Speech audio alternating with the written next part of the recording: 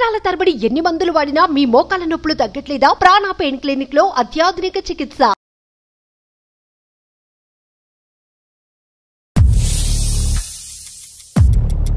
So love చేసుకున్నాము. సరదాగా friends అలా వెళ్ళే వాళ్ళం బయటకి. మేము లవర్స్ కాబట్టి మేము పర్సనల్గా వెళ్ళే వాళ్ళము. ఆ జర్నీలో uh, నేను కన్సీవ్ అయ్యాను సార్ సార్ వాళ్ళ మరదలంట యుఎస్లో ఉంటుందంట. తను చిన్నప్పటి నుంచి విని లవ్ చేస్తుంది. ఇప్పుడు ఏంటి ఆ అమ్మాయి ఆ అమ్మాయి పెళ్ళంటూ చేసుకుంటే నేను బావనే చేసుకుంటాను అనేసి వాళ్ళ పేరెంట్స్ని బెదిరించేసింది. నేను మొత్తం సరౌండ్ అయిపోయాను సార్. నాకు ఎటు ఏ దారిలో వెళ్ళాలో నాకు అర్థం అవడం లేదు. ఎందుకు టెన్షన్ పడుతున్నావు? ఎక్కడెక్కడికో ఫోన్ చేస్తున్నావు ఎక్కడెక్కడికో వెళ్తున్నావు? అన్ని విషయాలు ఎక్స్ప్లెయిన్ చేశాను కదా.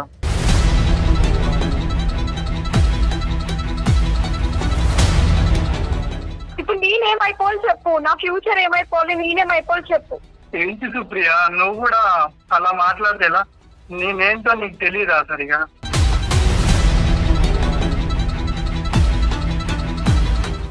నేను అతను లేకపోతే ఉండలేను సార్. నేను సర్వస్వం అతనే అని నమ్మి అన్ని నువ్వు వద్దంటున్నాడే తల్లి.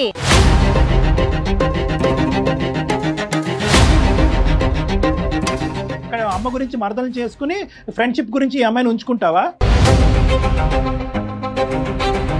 సడన్గా వచ్చింది సడన్గా వచ్చింది అని అనుకో. ప్రేమలో ఇలాంటివి సడన్గా వస్తూనే ఉంటాయి. ఇది సింపుల్గా చెప్పాలంటే నీ చేతకాంతనం అని చెప్పాలి.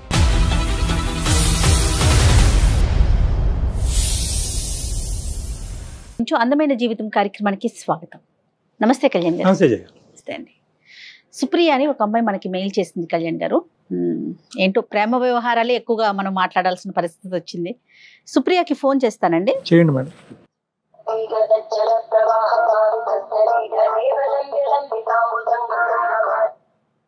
హలో. హలో. సుప్రియ గారండి. అవునండి ఎవరు? నేను జయానండి అందమైన జీవితం ప్రోగ్రామ్ నుంచి కాల్ చేస్తున్నాను. ఓకే. Hello madam. హాయ్ అండి సుప్రియ గారు బాగున్నారా? యూ యా ఫైన్ అండి. మీరు మెయిల్ చేశారు. కళ్యాణ్ చక్రవర్తి గారు కూడా డాక్టర్ గారు నాతో పాటు ఉన్నారు. స్టూడియోలో ఉన్నాము. ఓకే ఒకసారి మాట్లాడతారా? యా అండి షూర్ రైట్ అండి. ఒకసారి మాట్లాడండి.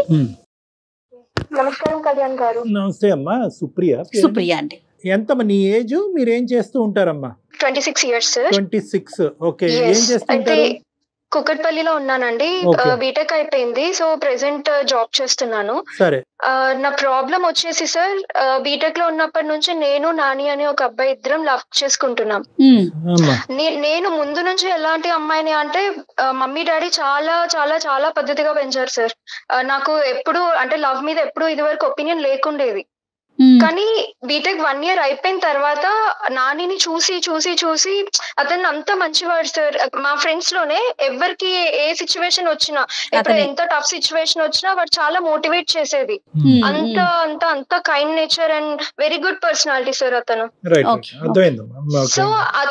వాడిని వన్ ఇయర్ చూసాను నేను. వెంటనే ఏమి ప్రపోజ్ చేయలేదు అతనికి. వన్ ఇయర్ చూసాను. ఆ జర్నీ వన్ ఇయర్ తర్వాత ఇంకా మేమిద్దరం one fine day Valentine's day Valentine's day రోజు ఇద్దరం ప్రపోజ్ చేసుకున్నాం.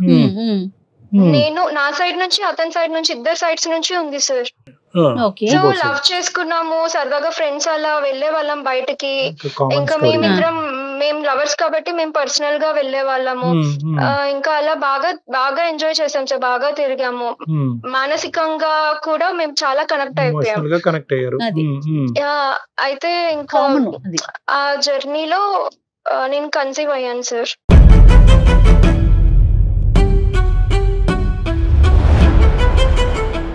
సో యువర్ ఇప్పుడు కన్సీవ్ అయ్యి ఉన్నావమ్మా నువ్వు? ప్రెగ్నెంటా లేదు సార్. అప్పుడే.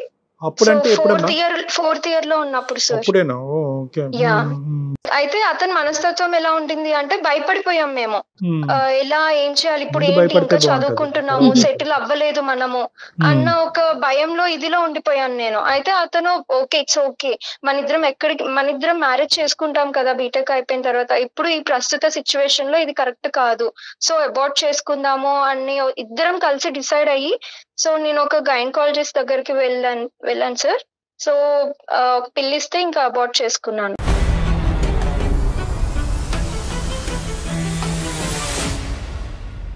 ఏదో సెలూన్ షాప్కి వెళ్ళి హెయిర్ కటింగ్ చేయించుకున్నట్టు అయిపోయింది. చాలా గా. ఓకే అమ్మా సరే ఓకే అమ్మా నెక్స్ట్ ఏంటి సుప్రియ? ఇంకా ఆ కన్ఫ్యూజన్లో ఉన్నానండి నేను. అయితే ఈ కన్ఫ్యూజన్లో ఉన్న టైంలో అతను సడన్గా ఒకసారి ఎప్పుడు కలుసుకునే ప్లేస్కి రా అనేసి అంటే సరే అని నేను క్యాజువల్ గానే వెళ్ళాను. ఇంకా అతను వచ్చి సడన్గా ఆ, ఎలా ఉన్నావు ఏం చేస్తున్నావు అని మాట్లాడుతూ ఇప్పుడు ఒకవేళ నేను నీ లైఫ్లో లేకపోతే నువ్వు ఎలా అనుకుంటున్నావు? నువ్వేమ ఏం చేద్దాం అనుకుంటున్నావు? మన ఇద్దరం ఒకవేళ కలిసి ఉండే Hmm. పరిస్థితులు మనకు లేకపోతే ఏం చేద్దాం అనుకుంటున్నావు అని అన్నాడు సార్ సడన్గా ఇక్కడ టాపిక్ ఏంటి అంటే సార్ వాళ్ళ మరదలంట ఉమ్, యుఎస్లో ఉంటుందంట తను చిన్నప్పటి నుంచి విని లవ్ చేస్తుంది. వీడికి తెలుసు అది కాకపోతే వీడు అవాయిడ్ చేసేది. ఓకే.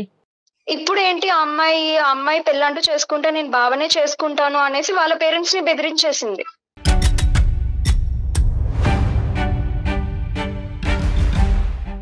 నేను పెళ్ళి చేస్తారు అంటే చెప్పండి యుఎస్కి వచ్చి పెళ్ళి చేసుకుంటాను లేకపోతే ఇక్కడే ఉండి నేను సూసైడ్ చేసుకుంటాను మీ ఇష్టం ఇంకా అనేసి తను మొత్తానికి. అలా మాట్లాడేసింది. ఇతను ఏం చేస్తుంటాడమ్మా? ఇతను కూడా ఇప్పుడు సాఫ్ట్వేర్ జాబ్ చేస్తున్నాడు మేడం. Okay okay. నిద్ర ఐటీఏ.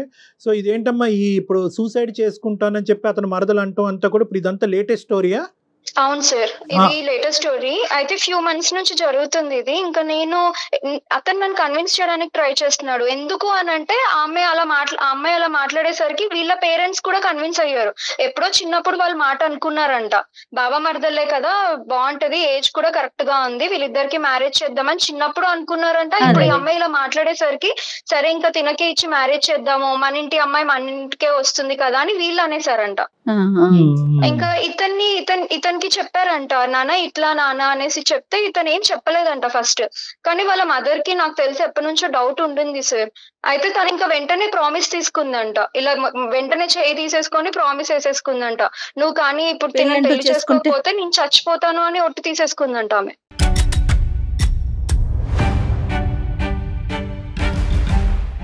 ఎవరు చెప్పారమ్మా ఈ విషయాలన్నీ అతనే చెప్పారా నీకు? అవును అవును మేడం. అతనే చెప్పాడు నాకు. కదమ్మా అతనికి అదే అసలు రోజు. హింటే లే- అసలు అతనికి హింటే లేదా సుప్రియ? దట్ ఒక మరదలు ఉంది ఆ అమ్మాయి మీద ఆమె నా మీద ఆశ పెట్టుకుంది చెం- పెద్దలు కూడా ఆ, మీ ఇద్దరు ఫ్యామిలీలో క- ఉంది. ఓ, ఈ ఆలోచన ఉందన్నది ఓకే ఇతనికి అట్రాక్షన్ ఉందా లేదా అనేది డిఫరెంట్ స్టోరీ కానీ ఈ బేసిక్ ఆలోచన బ్యాక్గ్రౌండ్లో వాళ్ళకి ఉందన్నది తెలీదా నిజంగా నానికి?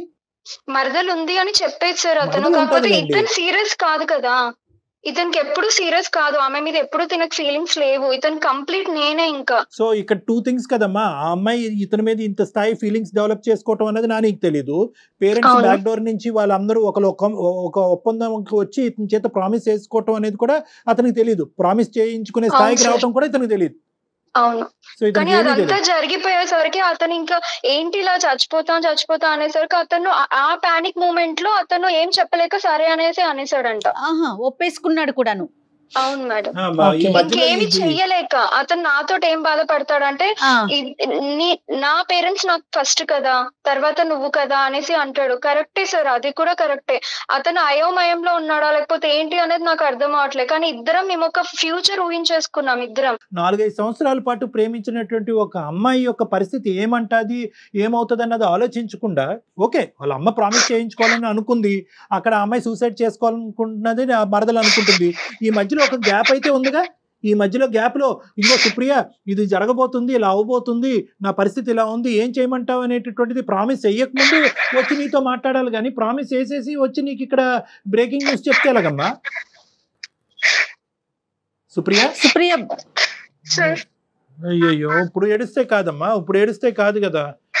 ఇప్పుడు నాకు నేను మొత్తం సరౌండ్ అయిపోయాను సార్ నాకు ఎటు ఏ దారిలో వెళ్ళాలో. నాకు అర్థం అవడం. లేదు అమ్మ నాన్నకి చెప్దాము అంటే ఇప్పుడు నేను గనక వాళ్ళకి చెప్తే వాళ్ళు కుప్ప కూలిపోతారు సార్ పెళ్ళికి ముందే మా అమ్మాయికి ఇలా అయింది అన్న నిజం వాళ్ళకి తెలియ ఎప్పటికీ తెలియకూడదు ఎందుకంటే నేను అది చేస్తాను నేను ఎప్పుడు అనుకోలే కళ్ళలో కూడా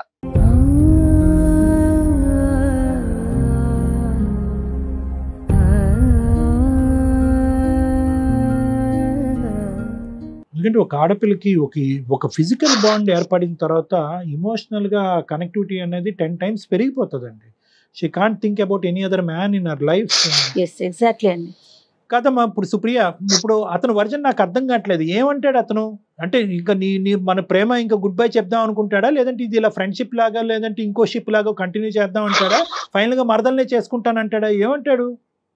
మరదలకి మీరు నాకు అదే హెల్ప్ చేయాలి సార్ నాకు ఏది అతన్ని కన్విన్స్ చేయాలి అంతే. అతను ఒక భయంలో ఉన్నాడు. ఎవరో చనిపోతారు. వాళ్ళ వాళ్ళు చనిపోతారు అని. కానీ ఇక్కడ నేను ఆ టెన్షన్లో నేను. నేనేదో ఒకటి అయిపోతాను నువ్వు కదా సార్ చచ్చిపోతే నువ్వు కాదమ్మా మేము కన్విన్స్ చేస్తాం. అది తాత్కాలికమే కదా. పర్మనెంట్ సొల్యూషన్ కాదు కదా.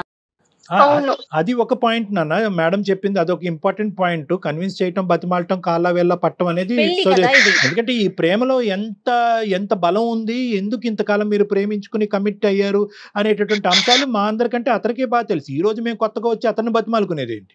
అది కాదు.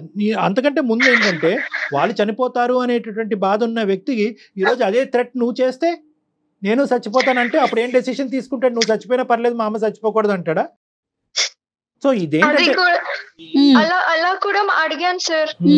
కానీ నేను ఎప్పుడు కూడా అతనికి ప్రెషర్ ఇవ్వాలనుకోలేదు. అతను కూడా అతను. ఆ, అతనికి ఇవ్వ మాకు మొత్తం ప్రెజర్ నువ్వే తీసుకుందువు గాని. అతనికి ఇండివిజువాలిటీ లేదు ఒక నిర్ణయం మీద నిలబడలేడు ముందు ఆలోచించవలసింది ముందు ఆలోచించకుండా తర్వాత పరిణామాల గురించి బాధపడతాడనే వ్యక్తిత్వంతో నువ్వు ప్రయాణం నాలుగు సంవత్సరాల పాటు చేసావు అరగంటలో మాకు అర్థమైనటువంటి ఒక అంశం నాలుగు సంవత్సరాలు ఈ వ్యక్తి యొక్క వ్యక్తిత్వం అర్థం కాలేదు.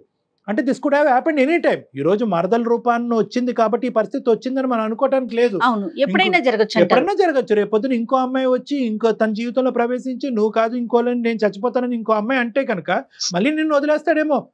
నీకెప్పుడు అలాంటి వాడు కాదు. ఎందుకు అంటే వాళ్ళ మరదలు లేదా వాళ్ళ అమ్మ చనిపోతా అనేసరికి అతని డిసిషన్ తీసుకున్నాడు. మరి అదే అతను ఇంకా- నువ్వు కూడా అంటున్నావు కదమ్మా. ప్రతి ప్రేమలో ప్రతి ప్రేమలో థ్రెట్కి డిసైడ్ అవ్వాలమ్మా. థ్రెట్కి తట్టుకునేటటువంటి వాళ్ళే ప్రేమించాలి. ఆ దమ్ము ధైర్యం ఉన్న వాళ్ళే ప్రేమించాలి. వాళ్ళ అమ్మ దగ్గర నుంచి థ్రెట్ రాదని అనుకున్నాడా? మీ పేరెంట్స్ దగ్గర నుంచి ఇంకో థ్రెట్ రాదని అనుకున్నాడా? అన్ని థ్రెట్లకి మనం ఎదురిద్దాము అన్ని థ్రెట్లను మనం తట్టుకుందాము. అప్పుడే ఇది అసలైనటువంటి స్వచ్ఛమైనటువంటి ప్రేమ.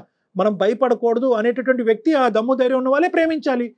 ప్రేమించేసిన తర్వాత మా అమ్మ చచ్చిపోతానంది కాబట్టి నీకు గుడ్ బై అంటే ఇంకేమన్నా ఉందమ్మా? ప్రిపేర్డ్నెస్ Sir, లేనప్పుడు ఎందుకు మీరు? మీరు ఎందుకు ఇందుకోసమే నేను స్టార్టింగ్లో ఎప్పుడు నేను లవ్లో పడతాను అనుకోలే. ఎందుకంటే నా సరౌండింగ్స్లో నేను చాలా చూస్తున్నాను. అప్పుడు చాలా చూసాను సార్ లవ్ చేస్తారు కానీ లవ్ మ్యారేజ్ అనేసరికి కొంతమంది వదిలేస్తారు చీట్ చేస్తారు. సో ఇందుకే నేను ఎవరిని ఆ ఉద్దేశంతో రాలేదు నాకు. కానీ ఇతన్ని వన్ ఇయర్ నుంచి దగ్గరగా చూసాను కదా సార్ అందుకు ఇతన్ని లవ్ చేశాను. కాదు నువ్వు నువ్వు ఏవేవి చూసి అతన్ని చేసుకున్నావు చేసుకోవాలని అనుకున్నావు అనేది డిఫరెంట్ స్టోరీ కానీ కొన్ని సందర్భాల్లో ఏంటంటే ఈ విపరీతమైనటువంటి మంచితనం కూడా ఇటువంటి వాటికి శాపం. ఇప్పుడు ఇదే డైలాగ్ నువ్వు అతనికి చెప్తే మా అమ్మ చచ్చిపోతానంటుంది ఇక్కడతో మన మన ప్రేమకు తుది పలుకు గుడ్ బై అని అనుంటే ఎలా అంటే తను యాక్సెప్ట్ చేస్తాడా? మరి ఇప్పుడు ఏం చేద్దామమ్మా? మీరు ఏదో ఒకటి చేసి తనని కన్విన్స్ చేయండి సార్ ప్లీజ్ సరే సరే. నా అమ్మా, పేరెంట్స్ ముందు. నేను ఇలా నిల్చోలేను సార్. నేను వాళ్ళకి ముఖం కూడా ఇలా చూపించుకోలేను. నా పేరెంట్స్ తట్టుకోలేరు అది. ఏం అమ్మా కానీ నీ- ఇతన్ని కూడా వదులుకోలేను సార్. ఇది ఇందుకే మేము అంటా ఉంటాం మా ప్రేమించడం తప్పులేదు కానీ ప్రేమ ప్రేమించేటటువంటి క్రమంలో అన్నీ ఇదే ఇదే జీవితం అని చెప్పి బ్లైండ్ ఫెయిత్తో ముందుకెళ్ళిపోయి మెడకి ఏమొచ్చి ఏదో ముడిపడిన తర్వాత పేరెంట్స్కి చెప్పాలి పేరెంట్స్కి చెప్పేటటువంటి పరిస్థితి పేరెంట్స్ యాక్సెప్ట్ చేయరనేది ఈ లాస్ట్ సీన్లో పేరెంట్స్ని తీసుకొస్తున్నారు చూడు అది మీరు చేసే ప్రధానమైనటువంటి తప్పిదం. సరే ఇప్పుడు ఇప్పుడు అతను ఏమంటాడు అన్నది ఒకసారి చూద్దాం అమ్మా. అతను ఉన్నాడు అసలు? మాట్లాడొచ్చా? మాట్లాడతారు సార్. అత- అతనికి విషయం ఏం తెలీదు నేను లైన్ కనెక్ట్ చేస్తాను అతనికి. మీరు మాట్లాడే వ్యక్తి మీ కాల్ని హోల్డ్లో పెట్టారు. దయచేసి లైన్లో వేచి ఉండండి. హలో నాని. యా సుప్రియ. చెప్పవే. ఏం చేస్తున్నా ఏం లేదు. నువ్వు ఫ్రీగానే ఉన్నావా? యా ఫ్రీగానే ఉన్నా.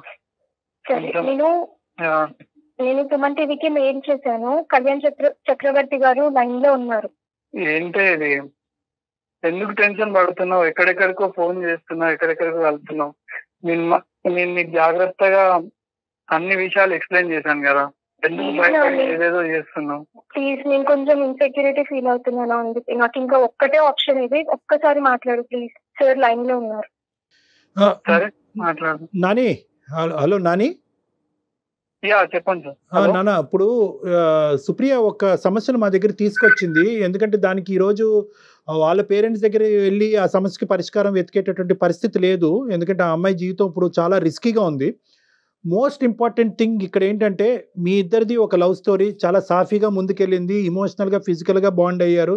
ఆ అమ్మాయి ఆఖరికి ప్రెగ్నెంట్ అయ్యి అబార్షన్ అయ్యేటటువంటి పరిస్థితి వరకు వచ్చింది. నువ్వు లేక నేను నేను లేక నువ్వు ఉండలేవనే ప్రామిసులు వేసుకున్నారు. అన్నీ కొనసాగేటటువంటి పరిస్థితిలో ఈ రోజు నీకేదో సమస్య వచ్చింది కాబట్టి ఈరోజు సుప్రియకి గుడ్ బై చెప్పాలి అని అనుకుంటున్నావు అని అంది.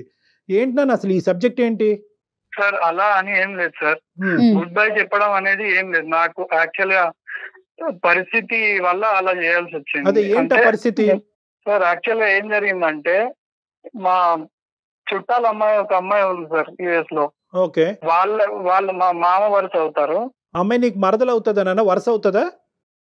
అవును వరుస సొంత. మేనమామ కూతురా నాని? యా సొంత మేనమామ కూతురు. వాళ్ళు ఎలా అంటే ఇప్పుడు పేరెంట్స్ వచ్చేసి వాళ్ళకి చిన్నప్పటి నుంచి మాట్లాడడము ఆ, అలా వెళ్ళడం మాకు ఫ్యామిలీ గ్యాదర్ గ్యాదరింగ్ జరిగేది.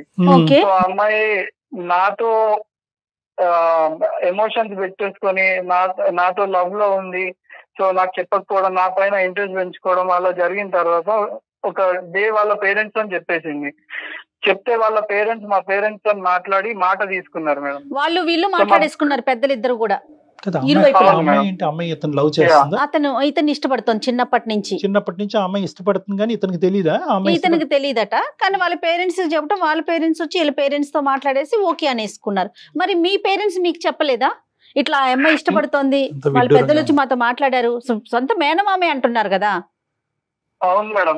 ప్రాబ్లం ఇక్కడే. యాక్చువల్గా మాకు నాకు నా పేరెంట్స్ వచ్చేసి చెప్పలేదు. ఆ, సో మెయిన్ ఇష్యూ అదే. నా వాళ్ళు డైరెక్ట్ వాళ్ళకి మాట ఇచ్చేసేసరికి బేసిక్గా మాకు పేరెంట్స్కి నాకు బాండింగ్ ఎలా ఉంటది అంటే మేము కొంచెం కన్జర్వేటివ్ గానే ఉంటాం. రైట్ అండి మామూలు విషయాలు. అయితే ఓకేనమ్మా. ఇది పెళ్ళికి సంబంధించిన మీ జీవితానికి సంబంధించిన విషయం కదా. ఈ రోజుల్లో కూడా ఇంకా అలా ఉన్నారా? మీకు చెప్పకుండా మాటలు ఇచ్చేసి కదా. ఈ రోజుల్లో కూడా ఉన్నారంటే మేము ఎక్సెప్షనల్ కేసు అని అనుకోవచ్చు. మేబీ అన్ని ఎక్సెప్షనల్ ప్రేమించిన తర్వాత పెళ్ళి. వరకు వచ్చేటప్పటికి అన్ని ఎక్సెప్షనల్ కేసెస్ అది కాదు నేను ఒక టూ రెండే రెండు లాజికల్ పాయింట్స్ అడుగుతా. ఒకటి ఆ అమ్మాయి నిన్ను ప్రేమించేసింది కాబట్టి ఈ రోజు ఆ అమ్మాయి నువ్వు లేకుండా ఉండలేకపోతుంది అనేటటువంటి ఉద్దేశంతో ఇప్పుడు సుప్రియాకి మీరు దూరం అవుతున్నారా? అంటే సుప్రియాని పెళ్ళి చేసుకోకూడదని అనుకుంటున్నారా? లేదంటే మీ అమ్మగారు చనిపోతాను అనేటటువంటి మాట వల్ల అనుకుంటున్నారా? లేదంటే రెండిట్ల వల్లనా? సార్ సుప్రియాకి దూరం చేయాలి నేను దూరం పెట్టాలి అని అసలు నేను ఎప్పుడు ఊహించలేను సార్ అది. ఎప్పుడు అనుకోలేదు కానీ ఫైనల్గా జరిగేది అదేగా. ఇప్పుడు ఫైనల్గా నువ్వు చెప్పేది అదే కదా. ఇప్పుడు ఈ అంటే నువ్వు సుప్రియాని సుప్రియాని పెళ్ళి చేసుకుంటావా? పెళ్ళి అయితే నేను పేరెంట్స్కి మా పేరెంట్స్ మాట ఇచ్చారు కాబట్టి నేను కూడా పేరెంట్స్ మాట బేజారలేను కాబట్టి వాళ్ళ ప్రకారమే చేసుకోవాల్సి వస్తుంది. సుప్రియకి మాట ఇచ్చావు చాలా ఇచ్చావు. మరి? నన్నేం చేయాలనుకుంటున్నావు? ఎన్ని అనుకున్నాం మనం నాని? ఎన్నో ఎన్నో అనుకున్నాం కదా? మన ఇద్దరికి ఇంకో కాదు, ఆప్షన్ నువ్వు లేదు అని అనుకున్నాం కదా? ఇప్పుడు ఎందుకు ఇలా మాట్లాడుతున్నావు? ఏంటి సుప్రియ? నువ్వు కూడా అలా మాట్లాడితే ఎలా? నేనేంటో నీకు తెలియదా సరిగా? నేనేంటో నీకు తెలుసు నువ్వేంటో నాకు తెలుసు నువ్వు కూడా అలా మాట్లాడితే ఎలా? అసలుకి మా పేరెంట్స్ని ఎలా వదులుకోమంటావు చెప్పు? ఏమన్నా అంటే నేను చనిపోతా అని మా అమ్మ అంటుంది. మరి నేను? ఆ, నేనేమైపోవాలి? మా మరదలు కూడా మరదలు పక్కన పెట్టు తన తర్వాత వచ్చి నా తర్వాత వచ్చింది తను. ఇప్పుడు నేనేమైపోవాలి చెప్పు నా ఫ్యూచర్ ఏమైపోవాలి నేనేమైపోవాలి చెప్పు. అలా అంటే ఎలా సుప్రియ? నా గురించి తెలుసు కదా ఇప్పుడు. అమ్మ ఫస్ట్ నుంచి ఈయన ఇంతేనమ్మా మాట్లాడే ధోరణి గాని ఆ విధానం మెతక అంతేనా సుప్రియ? కర్ర ఎరగదు పాము ఇతను చాలా కన్విన్సింగ్గా మాట్లాడతాడండి. అదేలే. కానీ అందులో నిజం ఉంటుంది. అదే కదా. అలా అని కాదు సార్. ఇంత మందిని మీరే చెప్పండి సార్ ఇంత మందిని. చంపేసుకొని పెళ్ళి చేసుకోమంటారా? తన పరిస్థితి ఏంటి? తనకుండదా? కాదు ఇప్పుడు నువ్వేమన్నా ఆలోచిస్తున్నావు కదా నా గురించి ఏం అదొక్కటి ఆలోచిస్తున్నావు చెప్పు. కరెక్టే. మేడం. అదొకటి చెప్పు. ఉమ్. కరెక్టే మేడం. నేను అది అలా అని అనట్లేదు. నేను అంటున్నానా? నేను ఏమైనా ద్రోహం చేస్తున్నాను సుప్రియకి నేను అంటున్నాను కదా. ద్రోహం? ద్రోహం ద్రోహం అనే మాట చాలా తప్పు చిన్న మాట. నువ్వు అమ్మాయితో శారీరకంగా కలిశారు. మీ అమ్మాయి ప్రెగ్నెంట్ అయ్యి అబార్షన్ చేసుకుంది. ద్రోహానికి. మించినటువంటి ద్రోహం ఇది. ద్రోహానికి మించినటువంటి దూరం. ఈ రోజు నువ్వు మెత్తగా చీజు సార్, రాస్తున్నట్టు మాట్లాడుతున్నావు. అదంతా వేరే విషయం. అదంతా పక్కన పెట్టు. ఇది ద్రోహం. ఇది అన్యాయం. ఇది అన్యాయం. ఇంత ఇంత మెత్త. ఇంత మెత్త? ఇది ఇది అన్యాయం కాదా? పరిస్థితి అర్థమవుతుందా? ఇప్పుడు నేను నువ్వు కాదు నువ్వు చెప్తున్నావు నువ్వు నన్నేగా కన్విన్స్ చేయాలనుకుంటున్నావు కానీ నేను ఎక్కడికి వెళ్ళాలి ఇంకా? అటు మమ్మీ డాడీకి చెప్పుకోలేను. ఇటు ఎవరి దగ్గరికి వెళ్ళాలి నేను?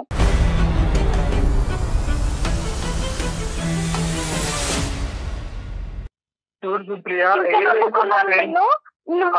కన్విన్స్ చేయడానికి ట్రై చేస్తున్నావు కానీ వాళ్ళని కన్విన్స్ చేయడానికి ఎందుకు ట్రై చేయట్లేవు?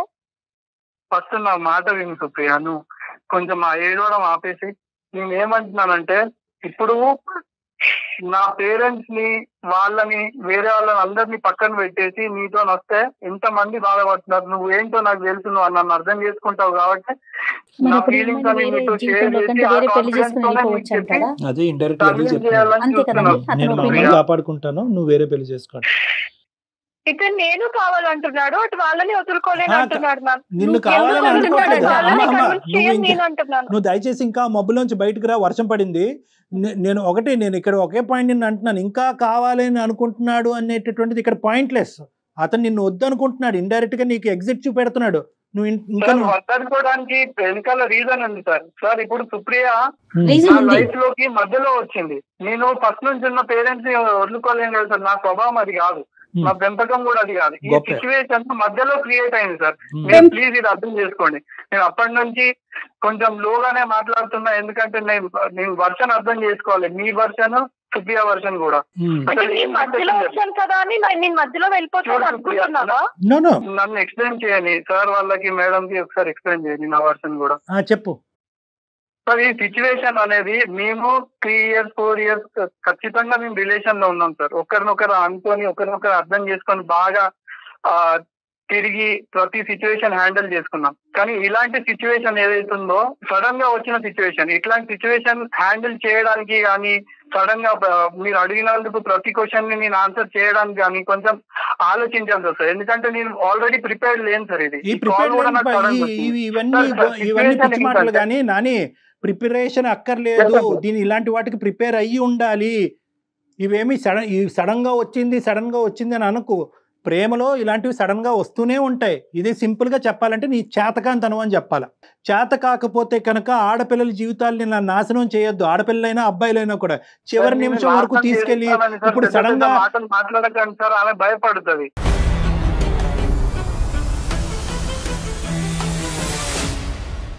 ఈ రోజు మీ మరదలు వచ్చి నేను చచ్చిపోతానని అందో లేదంటే మీ అమ్మగారు అందోనో కాదు. ఇక్కడ ఇటువంటి పరిస్థితులు ప్రేమలో క్వైట్ కామన్ ఇలాంటివి ఎక్స్పెక్ట్ చేస్తూనే ప్రేమాయణం అనేది మొదలు పెట్టాలి. అన్ని కార్యక్రమాలు అయిపోయిన తర్వాత ఈ రోజు మా అమ్మ తన మీద తాను ఒట్టేసుకుని చచ్చిపోతానంది కాబట్టి అయ్యే నేను విడ్రా అయిపోతున్నాను నేను ఎగ్జిట్ అంటే కనుక అది వర్కౌట్ అవ్వదు ఇది. ఏం అర్థం చేసుకోవాలి? ఎగ్జిట్ అవుతానని ఏం చెప్పట్లేదు మరి ఇది. ఏంటయ్యా ఇది ఇది ఏంటి. ఎగ్జిట్ కాకుండానే అక్కడ అమ్మ గురించి మరదలు చేసుకుని ఫ్రెండ్షిప్ గురించి ఈ అమ్మాయిని ఉంచుకుంటావా? తప్పుగా అనుకోవద్దు ఇంకా అదే పదం అనాలి మరి. కూడా అమ్మాయిని చేసుకుంటావా? సార్ ఏ ఆడపిల్ల కూడా ఫస్ట్ ప్రెగ్నెన్సీ వదులుకోవద్దు. అలాంటిది నేను ఇతని కోసం ఎందుకు చదువుకున్న. పిల్లవైంది మరి అక్కడ దాకా ఎందుకు ఈ రోజు ఇది నీకు ఫస్ట్ హర్డిల్ మాత్రమే. నువ్వు ఒకప్పుడు ఇతన్ని కన్విన్స్ చేసి ముందుకెళ్ళేటటువంటి ప్రయత్నం చేస్తే కనుక ఈ వ్యక్తితో ఇలాంటి హర్డిల్స్ నీకు చాలా వస్తాయి. అందరినీ సేవ్ చేయాలనుకుంటాడు అందరినీ బాగుపరచాలనుకుంటాడు ఎవరు చచ్చిపోకూడదు అనుకుంటాడు అందరూ బాగుండాలి అంటాడు.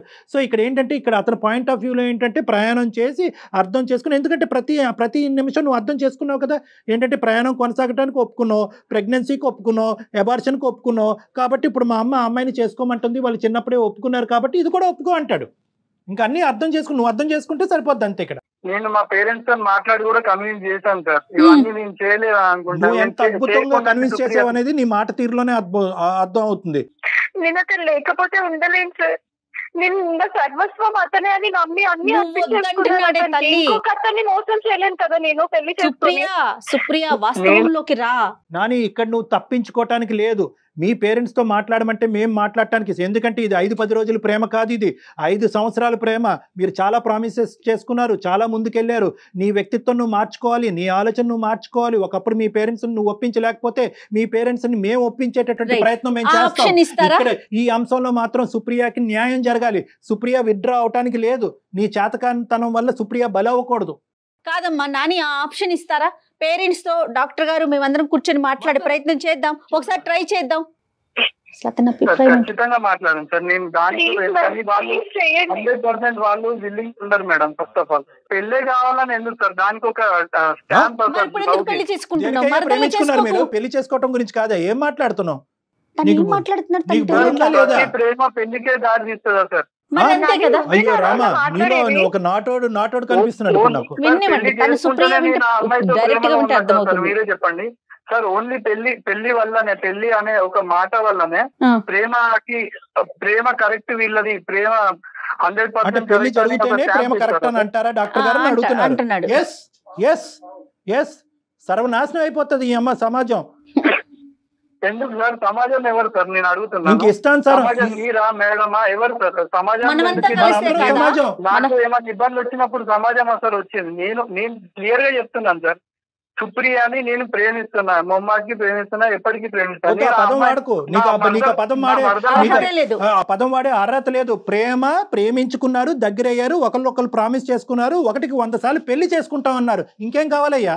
ఇంకేం కావాలి? ఇద్దరం తప్పకుండా చాలా లవ్ నేను- చేసుకున్నాం కదా నన్ను దిక్కులేని పరిస్థితిలో నన్ను వదిలేకున్నాను ప్లీజ్ వదలడమ్మా ఎవరి నేను గురించి వదులుతాడో చూద్దాం. నేను ఎవరు వదులుతున్నారు సుప్రియ? నేను. అంటున్నా వదులుతున్నానని నువ్వు అంత అంత పెద్ద పెద్ద మాటలు ఎందుకు మాట్లాడుతున్నావు? పెద్ద మాట్లాడే బాయ్. చేస్తున్నావు ఇక్కడ? ఆ అమ్మాయి పరిస్థితి ఏంటి చెప్పకుండా నిన్ను వదలను నిన్ను వదలను అంటే కనుక? అక్కడ చేసుకుంటానంటున్నావు ఇక్కడ ఈ అమ్మాయిని ఏం చేస్తావు? నీకేంటంటే గాల్లోకి ఎగిరి తన్నే ఆ అమ్మాయి దొరుకుంటే సరిపోయి ఉండేది.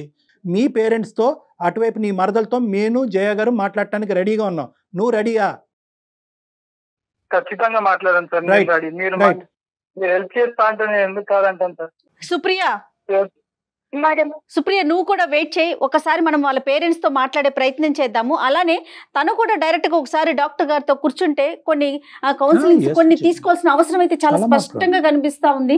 ఒకసారి మనం మాట్లాడినాక తర్వాత ఏం చేయాలనేది ఆలోచిద్దాం. అప్పటి వరకు నువ్వు డిప్రెషన్లోకి వెళ్ళిపోమాకమ్మా నువ్వు డిప్రెస్ అవ్వకు. నువ్వు ఓపెన్ ఎండెడ్గా భయం వేస్తుంది మ్యామ్ ఎక్కడెక్కడ లేదు. మమ్మీ డాడీకి ఈ విషయం తెలుస్తుందో చెప్పాల్సి అమ్మా, వస్తుందేమో అని భయం చెప్పాలమ్మా. ఈవెన్చువల్గా మీ వీళ్ళని ముసు పెద్దవాళ్ళని ముసుగులో పెట్టకు. ఇప్పటికే నువ్వు ముసుగులో పెట్టి నువ్వే అన్యాయం చెప్పాల్సిందే. అయిపోతావు ఈ రోజు ఈ వేదికలో తల్లిదండ్రులాగా మేము ముందుకు వచ్చి నీకు హెల్ప్ చేసాం ఒకప్పుడు మేము లేకపోతే కనుక ఈవెన్చువలీ వాళ్ళు చెప్పాలిగా మేము నువ్వు చెప్పాలి కదా మీ పేరెంట్స్కి? ఇప్పటికి నువ్వు చెప్పొద్దని కోరుకోవద్దమ్మా చెప్పాలి. ఈ మొత్తం అంశంలో పేరెంట్స్ని కూడా ఇన్వాల్వ్ చేస్తాం. వాళ్ళ పేరెంట్స్ని ఇన్వాల్వ్ చేస్తాం. మీ. పేరెంట్స్ని కూడా ఇన్వాల్వ్ చేస్తాం. నెంబర్ వన్ నెంబర్ టూ ఏంటంటే రెండు దారులు ఓపెన్ చేసి ఉంచు. ఇప్పటికీ కూడా మేమేమి నీకు కన్ఫర్మేషన్ ఇవ్వట్లేదు.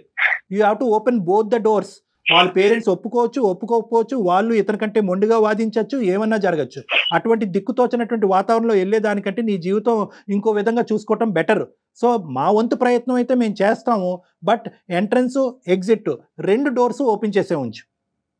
అన్నిటికీ రెడీగా ఉండు సుప్రియ. అలా ప్రిపేర్ అవ్వలేదు సార్ అవ్వలేకపోతున్నాను అవ్వాలి. ఏదన్నా మన మంచికే జరుగుతుందని అనుకుని ప్రిపేర్ అవ్వాలమ్మా. ఓకేనమ్మా? దీనికి ఓకే అంటే కనుక దాని దాని ప్రకారం మనం ప్లాన్ చేద్దాం. నెంబర్స్ తీసుకుని. ఓకేనా? Okay sir okay okay. Nani ఓకేనండి మీకు. ఎలాగైనా కన్విన్స్ చేయండి సార్ వాళ్ళ పేరెంట్స్ని. ఫస్ట్ ఆఫ్ ఆల్ వాళ్ళ పేరెంట్స్తో మాట్లాడతాం. కన్విన్స్ చేస్తాం. మీ పేరెంట్స్ని కూడా ఇందులో ఇన్వాల్వ్ చేస్తాం. దయచేసి అది నువ్వు వద్దు అనొద్దు. అక్కడ అమెరికాలో ఉన్న ఆ మహాతల్లికి కూడా మాట్లాడతాం. ఓకే, ఓకేనా నాని? Yeah okay sir. ఆ, okay okay. Right okay. All the best అప్పటి వరకు పేషెంట్గా ఉండండి. గొడవ పడకండి. ఓకే ఓకేనమ్మా బాయ్ నమస్తే. ఈ అమ్మాయి ఇప్పటికీ కూడా మా పేరెంట్స్కి చెప్పొద్దు అంటుంది. అతనేమో ఓకే నే- నేను నన్ను కాదనుకున్నానా? నువ్వే కావాలి ఇంక ఇదే ఇదే. నాకు తెలుసు అసలు ఇది ఎంతవరకు నిజమో ఏంటో కూడా మనం మీరు ఒకసారి పేరెంట్స్తో మాట్లాడితే కానీ. అసలు విషయం బయటకు ఎస్ కళ్యాణ్ గారు. రైట్ అండి నమస్తే.